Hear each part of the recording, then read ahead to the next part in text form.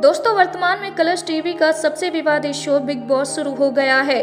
जिसमें सलमान खान ने बॉलीवुड टीवी जगत से लेकर अदर बैकग्राउंड से आने वाले लोगों को अपने शो में आने का ऑफ़र दिया था।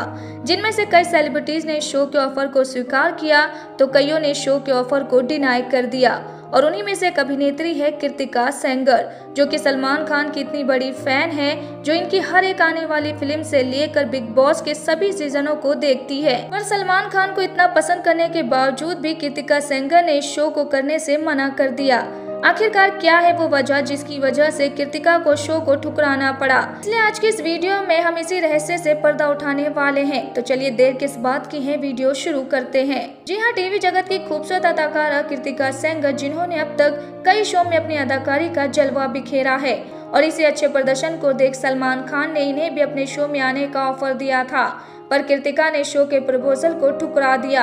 आपको जानकर हैरानी होगी कि अगर कृतिका सेंगर बॉलीवुड में किसी अभिनेता को सबसे ज़्यादा पसंद करती हैं तो वो है सलमान खान, जिनकी फ़िल्मों से लेकर उनके हर एक आने वाले बिग बॉस शो के सीज़न को ये ज़रूर देखती हैं। पर सलमान खान को इतना पसंद करने के बावजूद कृतिका सेंगर ने इस रियलिटी शो में पार्टिसिपेट करने से मना कर दिया।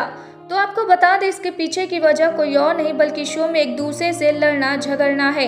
क्योंकि कृतिका का मानना है कि अगर वो शो में एंट्री करती है तो उन्हें अदर कंटेस्टेंट से लड़ाई झगड़ा करना पड़ेगा, जो कि कृतिका को बिल्कुल पसंद नहीं है। बल्कि वो तो काफ़ी शांत स्वभाव की है, जिन्हें लड़ाई झगड़ा करना ही नहीं आता। और इसी वजह से इन्हें अपने फेवरेट एक्टर सलमान खान का बिग बॉस शो ठुकराना पड़ा।